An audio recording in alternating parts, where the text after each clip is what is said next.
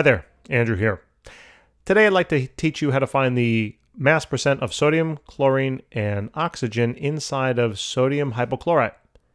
To do this, we're going to find the mass first, and then we're going to find those percentages.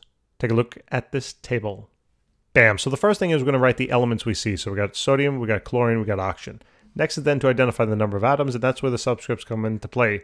Now, if you don't see anything down there, just put a 1 in there because that's what it is assumed to be. So we got one atom of each, basically.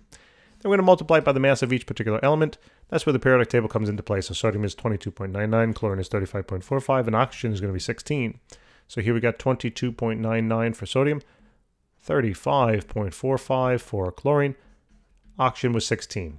Then you're going to multiply the rows on a cross to find the total mass of the element. So we're going to multiply this. The total mass of then sodium here is going to be 22.99. Total mass of chlorine is going to be 35.45. Total mass of then oxygen is going to be 16. I hope the math on the next test is like that, right? Isn't that what you're thinking? And then to find the total, just simply add this all together. So we get 74.44. And there it is, right? That was the first step of the process, finding the total mass. Now that I have that total mass in hand, I'm going to add a column to the table to now calculate the percentages. Here we go. Bam. So to find the mass percent of sodium, we're going to simply take the total mass of that sodium, 22.99, divided by the total mass of the entire compound, or 74.44.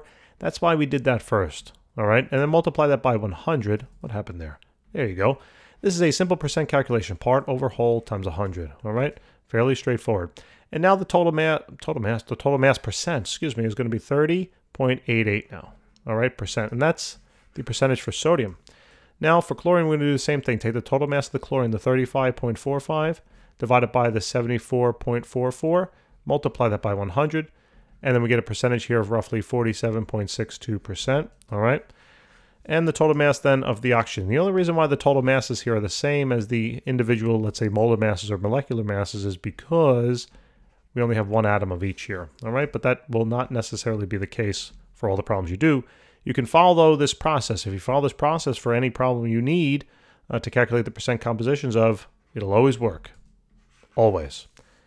So just to check yourself here when you calculate all these percentages, by the way, that's 21.49%, uh, it should equal then 100%, all right? And that's what I want for you on your next test, 100, all right? Keep studying, keep focusing, keep working hard, keep practicing, all right? And that's what we're trying to provide here. We're trying to provide solve solutions for specific questions to help you practice, to help you, you know, master the specific techniques uh, that might be necessary, all right? We love to help you out. Check out our channel. I'll see you soon.